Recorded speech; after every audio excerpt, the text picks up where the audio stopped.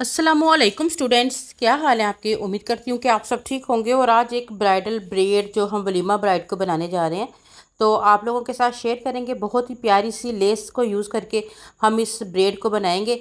तो वीडियो को कहीं स्किप नहीं करना। आपने लास्ट तक हमारे साथ बने रहना है। और सबसे पहले क्राउन से हम थोड़े बाल लेके अच्छे तरीके से, बिल्कुल रूट्स के अंदर अंदर जो हमारी कॉम का बारीक साइड होता है, उसके साथ हम रूट्स के अंदर बैकोमिन करने जा रहे हैं, ठीक है? और साथ ही बिंदिया भी अटैच कर लेंगे। बिंदिया को काफ़ी अच्छे तरीके से आपने ग्रिप देकर जो है ना, वो लगाना है और उस पर एक दो आधी पिन आप अप्लाई कर दें, ठीक है?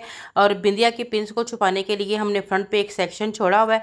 उस सेक्शन के रूट्स के अंदर अगेन हम लोग जो है अच्छा यहाँ हम पाउडर का यूज़ इसलिए कर रहे हैं कि इतनी एमरजेंसी में इस ब्राइड का हेयर स्टाइल बनाया जा रहा है। बहुत लेट हो गई थी हमारी ये वाली मॉडल जिसकी वजह से हमें बालों में बिल्कुल भी जैसे प्रेप किया जाता है प्रॉपर तौर पर क्रिम्प किया जाता है ब्लो ड्राई किया जाता है, ऐसा कुछ भी नहीं किया। सिंपल जैसा बाल था वैसा ही हम लोगों ने आ, इनको जो है ना वो सेट किया है ठीक है? सेंटर की पार्टीशन के साथ साथ साथ हम यहाँ पर डस्ट पाउडर का यूज़ कर रहे हैं ठीक है? क्योंकि अगर बाल थोड़ा भी ऑयली है तो डस्ट पाउडर उसको कंट्रोल कर लेगा बाल थोड़ा सा ड्राई हो जाएगा और फिर इजीली आप होल्ड कर पाओगे। यहाँ पर हम एक रबड़ की मदद से पोनी बना रहे हैं ठीक है? पोनी बनाने के बाद जो है ना वो आगे आपको आपको इस तरह की लेसेस जो हैं ईजीली तरीके से मार्केट से मिल जाती हैं।